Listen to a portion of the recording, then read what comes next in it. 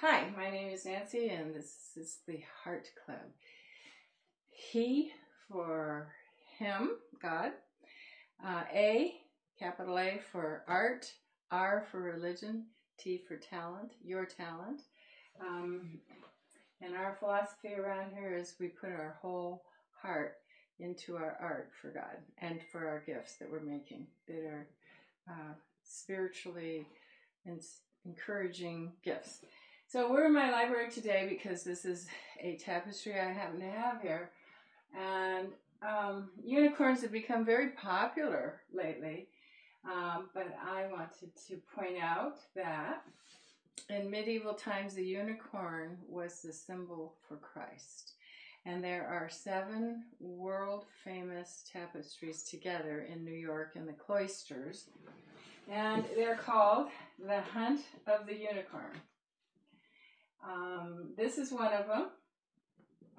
And uh, this is a symbol of Christ.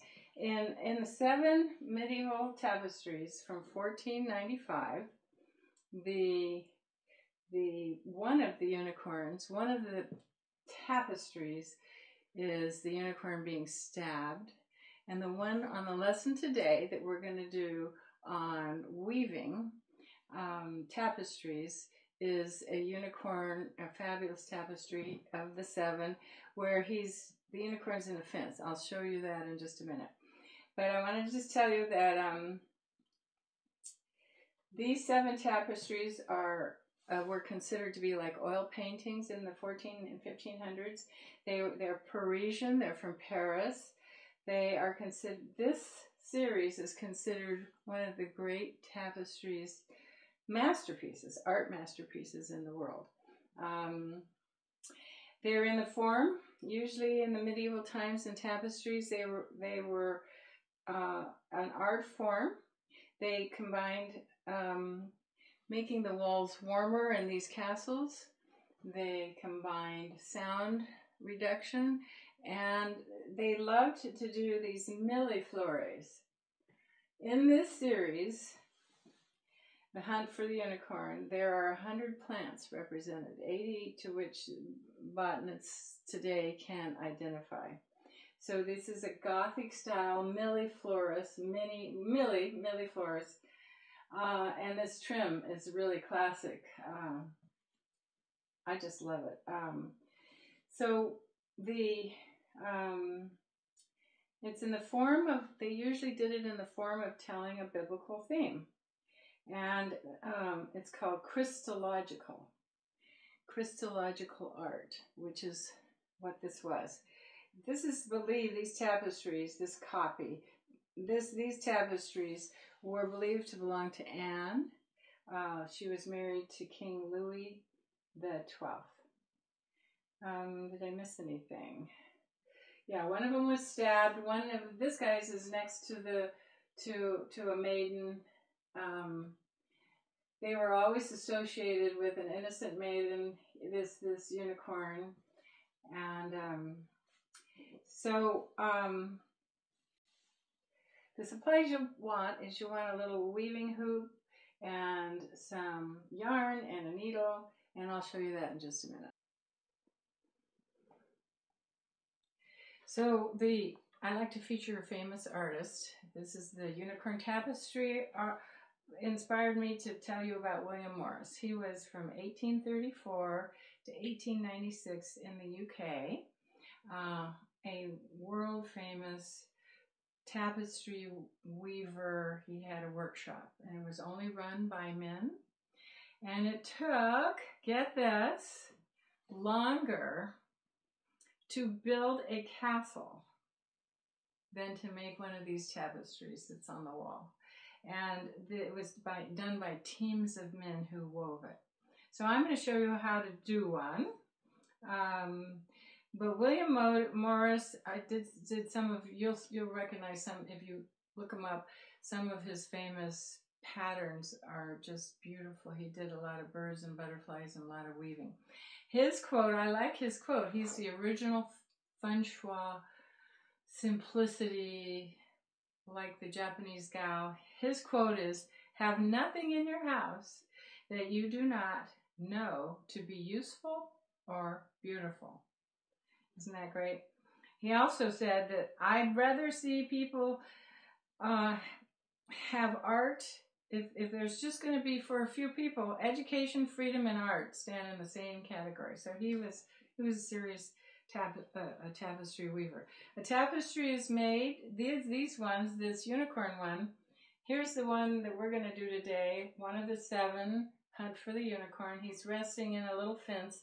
He's got a gold chain. I'm going to show you how to do the gold chain. He's got a lovely unicorn. I'm going to show you how to draw his shape and and the uh, the tail is spectacular. His tail is woven thread, and it is just spectacular. So I'm going to show you these basics uh, that they used in the original 15 1495 is was made with silver and gilt, which means gold wefts. So the the yarn was was silver and gold and wool and silk, mostly silk. So these were made out of silk, which is spectacular. Um, let's see. A tapestry is made, and I'll show you, by repeatedly weaving the horizontal weft thread over and under the vertical warp threads and then tapping them down very firmly. Um, so the, the things that we have here are fun little things if you want to get really into weaving tapestry. I found this in the fabric store. Uh, of course, you're going to want your frame to hold your cloth. And I found, I'm naming it monk cloth because at the fabric store, it looks just like weaving, tapestry weaving monk cloth. So find any kind of cloth that you can weave in and out and in and out. And then I have all of my different, these, these yarns, I, they're acrylic, they're not wool or, wool or silk, but you know what? You can try to find some of that. So lots and lots of different colors for the millefleurs, all the different flowers that are in my tapestry. Um, I'm not gonna, I'm not gonna, it would take way too much time. Like building a castle, but I'm going to show you some basics. So it's a cute little project card, so you can tie, you can even label your colors and have them ready to go. Um, I liked these two this one I thought would be great for the unicorn. It's a pearlescent white sparkly yarn and this is great, a dual colored gold one. Or this is a little thinner, this one, for the chain around the unicorn's neck. So here's, another little picture of a tapestry. These are this I got this at Disneyland. It's made in France. But um, tapestries are really a great art form. So the weaving of the chain around this unicorn's neck, you can't see it very well. Oh, he has a really neat goatee too. And I love, I'm going to show you this to you close up, but you can pull it up online. The, the, the pomegranate tree, that's very symbolic for uh, medieval times uh, even biblical times where pomegranates were hung around the priest's robes. And um, these gazillion flowers and his goatee is really cool. So now don't say to yourself, I can't do this because I want you to be wild and creative as an artist. And if you can't sketch a unicorn onto this fabric, this is a really neat kind of pencil. Get somebody in your family who is creative and artis artistic and have them just draw you your unicorn shape right here. Um, these are transfer pencils, hot iron. So they're red and they're, they're designed for fabrics. But so you're going to want to do a shape of this unicorn. His body's kind of like a kidney bean. So this comes around here like this. They give him a long, stately neck. Here's his underbelly. And then his legs, they it's really cool the way they did his legs. They come forward. Always take a picture, take something from a picture. His legs kind of bend forward like this. Then there's this incredible, oh, this is so artistic, the way this tail does all of this stuff.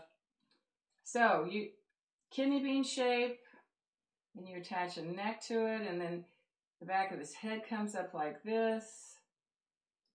Then he's got a head, a, a kind of a face here. This gorgeous spirally goatee. They were just really having fun.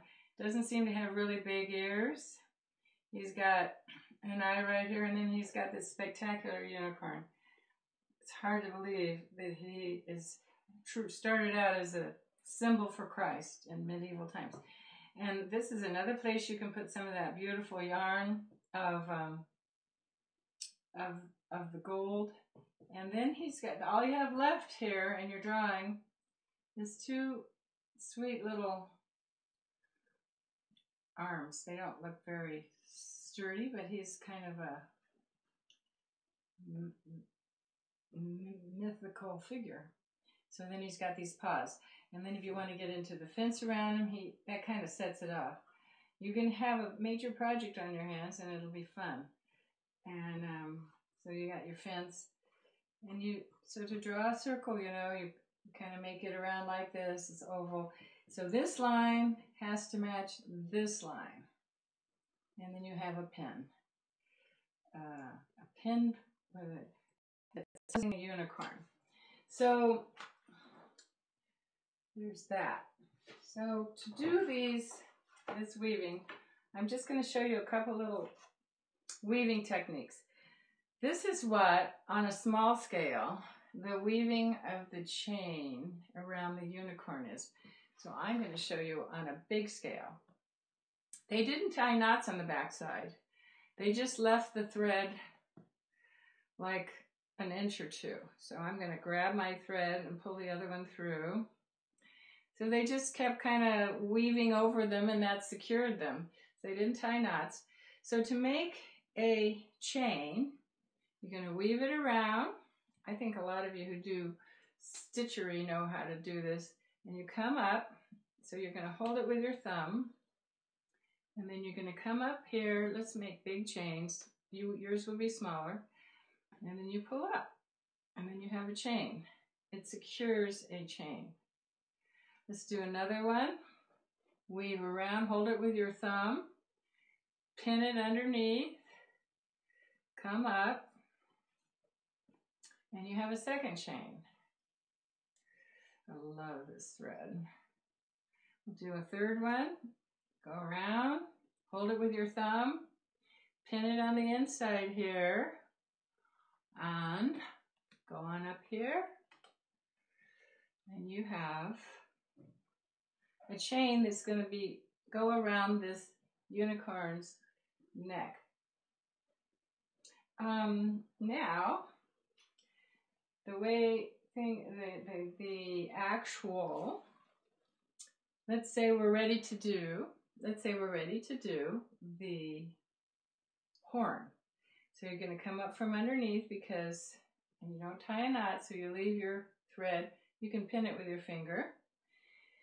So I'm going to start out pretty wide at the base of this of this horn.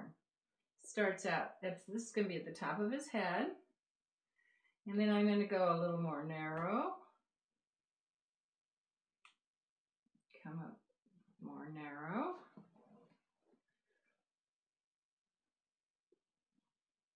But, and you're going to you're going to tamp them pretty clear. You're going to keep them this is a little wider than apart. Then this one's going to be more narrow and you're going to take it all the way to, it is so satisfying to sew. And then you can go smaller and smaller.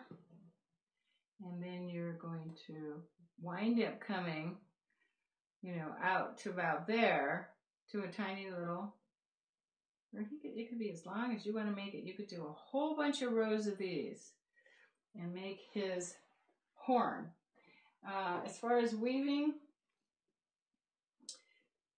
good luck with all the Milla flowers. These are just beyond incredible. I'd love to see you do a tree and send me a picture. Um, it, it'd be so fun to discover the 80 flowers that are in this world famous tapestry. So the way you thread this is you get these kind of needles. These are nice and they're kind of safe to be around kids.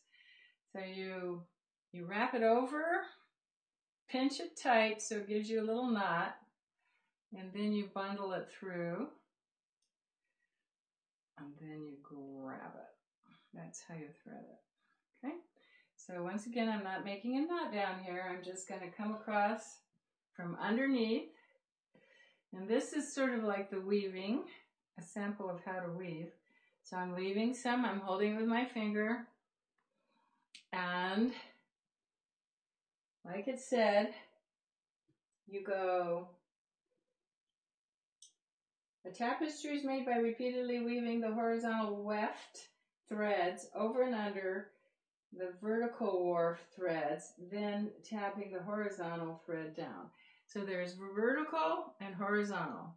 So this one's going to be the up and down and up and down. There are looms, and you can do it that way too, but I'm just trying to show you, as you, I'm sure you know, to, to weave like this.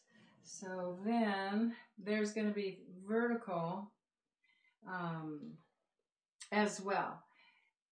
You're going to have to come up with your own ideas, and I'm sure you don't need to do it. I, I, you know, you could really truly come up with a really sweet flower. There's another way to do a rosette. One of your flowers, this is the last thing I'll show you. You go like this, and then, let's see if I can pull this off. So you wrap it around your needle, and then you put it in, and you pull it through. No, it didn't work. It, it, it would it would make it, it did work, but it doesn't show. It's a rosette right there of because it was. This is um. This is the right there. Let me try that again. I'll try it on the other side. Let's see if we can make it become a rose in yarn. No, it's pulling through too much for here on this on this particular fabric. So, good luck. You're going to need the luck. Um, except that it's a wonderful, wonderful thing. So the Bible verse for this particular class is John 14, verse 6. And I'd like you to put that here because this is a gift. You're going to give this to someone if you'd like to. It, you can trim this up around here you can hang this on a hook on the wall for the person who loves unicorns in your family. But you're going to have a Bible quote, and if you don't mind, putting down John 14, verse 6, Jesus said, I am the way, the truth, and the life. No man cometh unto the Father but by me. And it goes on to say, if you know me, then you've known my Father also. From now on, you know him and have seen him, which is amazing that that we we look like deity. We we were patterned after the deity. We're created. They are the creators. But I love this quote. So another lesson I showed you how to make the smock, the stars on the crown smock. And uh, that smock has a crown painted. And you paint your stars every gift you give that you don't tell anybody that you gave a gift. Good deeds are best kept secret. And inside, hidden is a pocket like in the Dark Ages when they used to have to hide their scripture verses.